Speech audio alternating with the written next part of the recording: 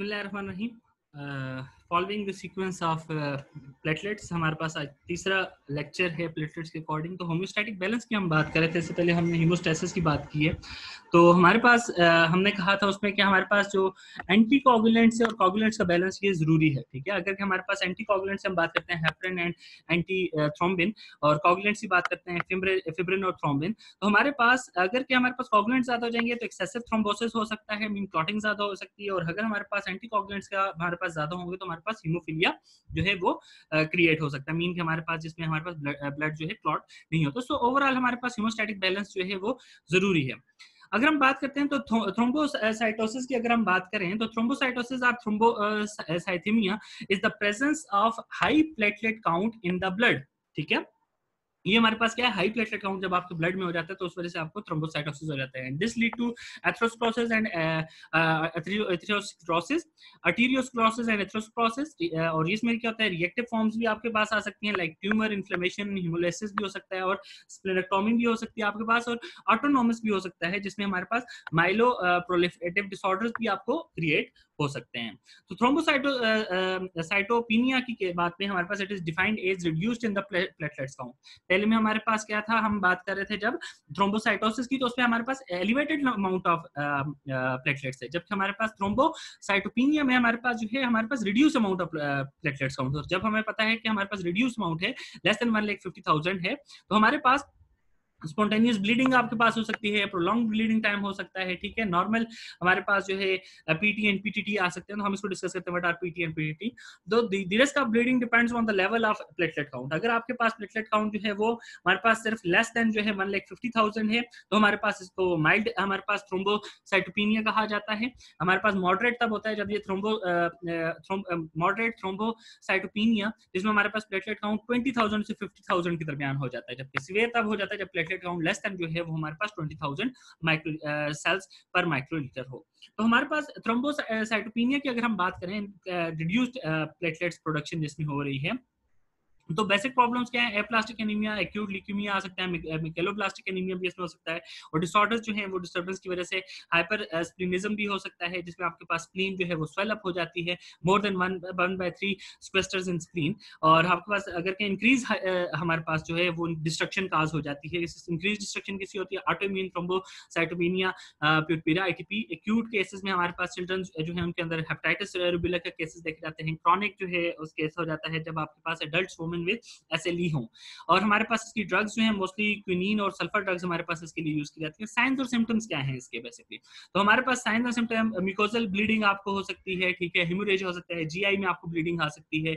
Normal platelet count जो है may present in the platelet dysfunction जो है, हमारे पास वो भी हो सकता है। सो होम्योस्टेटिक फ़ंक्शन इसके लिए हिमोस्टेटिक फ़ंक्शन टेस्ट किए जाते हैं, जो मेथड ऑफ़ स्टडी है, उसमें हमारे पास बेसिकली चार तरह के हमारे पास टेस्ट किए जाते हैं। पहला आता है बीटी जिसको हम ब्लीडिंग टाइम कहते हैं सीटी जिसको हम क्लॉटिंग टाइम और थ्रोम्बिन टाइम भी कहा जाता है। उसके बाद PT prothrombin time PTT that is partial thromboplastin time तो ये हमारे पास चार तरह के टेस्ट होते हैं, हम देखते हैं कि क्या होता है, इनकी सिग्निफिकेंस क्या है। But so basic significance BT and CT जिसको हम bleeding time and clotting time की अगर आप बात कर रहे हैं तो हिस्ट्री और फ्रीक्वेंट हम स्पॉन्टेनियस ब्लीडिंग की हिस्ट्री क्या है आपके पास? Before every minor and major history हम इसको सर्जरी हम इसको चेक करते हैं। ट्रूथ इरेक्शन के स्पेसिफिकली हम चेक कर रहे होते हैं कि हम इससे पहले हम इसको बीटी और सीटी मस्ट चेक करते हैं।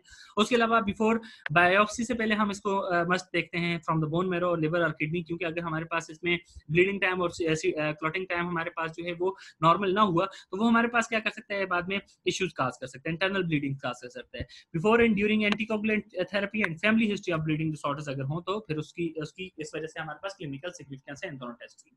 So what is bleeding time कि हमारे पास time interval between the skin puncture and spontaneous unassisted stoppage of the bleeding कि अगर आपने स्किन को पंक्चर किया, ठीक है? और उसके बाद अनअसिस्टेड आप उसको स्टॉपेज कर रहे हैं स्पॉन्टेनियस स्टॉप हो ब्लड का। तो वो बेसिकली टाइम कितना है, ठीक है? कि कितने टाइम तक आपकी ब्लीडिंग हो रही है? हमारे पास ब्लीडिंग टाइम क्या है? इंटरवल कैसे स्किन पंक्चर और आपके पास स्पॉन्टेनियस स्टॉप होने से स्टॉपेज ऑफ़ ब्लीडिंग से।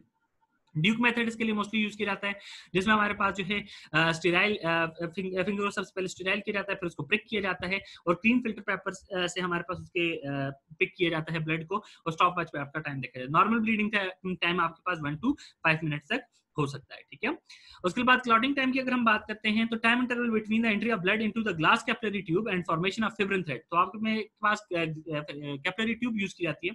पंक्चर किया जाता है सबसे पहले, ठीक है? राइट कैपिलरी ग्लास ट्यूब इसमें मेथड यूज़ किया जाता है। ड्यूब ड्रॉप मेथड भी इसमें यूज़ किया जाता है। तो हमारे पास सबसे पहले पंक्चर किया जाएगा और जो जैसी ब्लड निकली उसको कैपिलरी ट्यूब में कलेक्ट किया जाता है। और वहाँ पे उसको देखा जाता है within three two six minute अगर वो क्लॉट हो जाए तो हमारे पास इसको जो है नॉर्मल कंसिडर किया जाता है। अगर ये सिक्स मिनट से एक्सेसिव जा रहा है तो हम इसको कहते हैं जी हमारे पास जो है हीमोफिलिक कंडीशन जो है आपके पास आ रही है और आपके पास जो है सर्जरी से पहले आपको जो है कॉगुलेंट्स जो है हमारे पास प्रोवाइड या फिर उसकी जो है हमारे पास ट्रीटमेंट की जाएगी, ठीक है?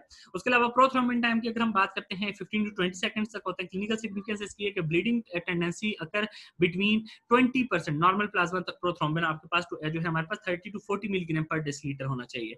तो लोथ प्रोथ्रोम्बिन की डेफिशिएंसी की वजह जो है हमारे पास विटामिन के डेफिशिएंसी हो सकती है लिवर और बाइलरी डिजीजेस भी हो सकती हैं और प्रोलॉन्ग जो है हमारे पास उसमें नॉर्मली आपके पास फैक्टर्स जो हैं, जिसमें specifically factor two factor five और फैक्टर सेवन जो है, और फैक्टर टेन वो हमारे पास नॉर्मली हमारे पास इसका काज होता है, जिसकी वजह से प्रोथ्रोम्बिन टाइम जो हमारे पास ज़्यादा हो जाता है। अब partial prothrombin thromboplastin time partial prothromboplastin time PTT भी इसको कहा जाता है blood test that looks at how long it takes for a blood to clot कि कितना टाइम में आपके पास ब्लड क्लॉट होगा। It can help tell if you you have bleeding और क्लॉटिंग प्रॉब्लम इस वजह से आपकी ब्लीडिंग क्लॉटिंग प्रॉब्लम्स भी देखे जा सकते हैं।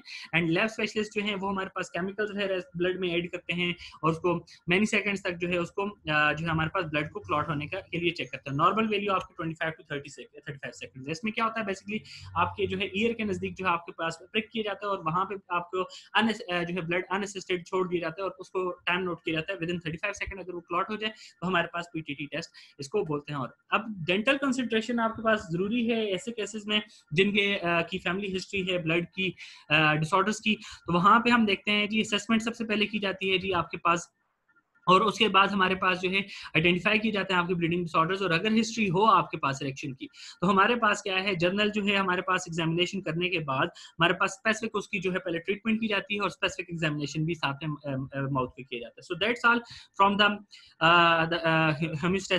जो हमारे पास टॉपिक था और उसके बाद हमारे पास जो है स्पेसिफिक फ़ंक्शन टेस्ट जो है आपके, जिसके थ्रू हम जो है ब्लड डिसऑर्डर्स को आइडेंटिफाई कर सकते हैं। Now you can ask questions from this